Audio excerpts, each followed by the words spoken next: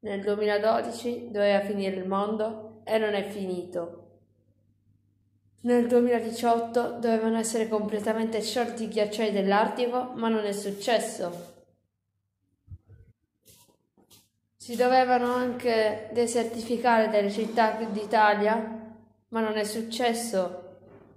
Doveva scomparire la neve, ma ieri l'ha fatta nella mia località, dove è anche rara la neve.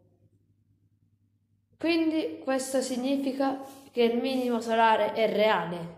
Invece il riscaldamento globale è una falsità, nullità, una cosa fake, fasolla, come dite voi. Anzi, come dico io. Perché il global cooling o raffreddamento globale è reale, ma il riscaldamento globale o global warming è falso, è una bufala. Quindi ciò significa che siamo andati in una piccola era glaciale.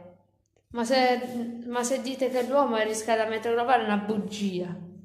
Perché il riscaldamento globale lo fa il sole anche.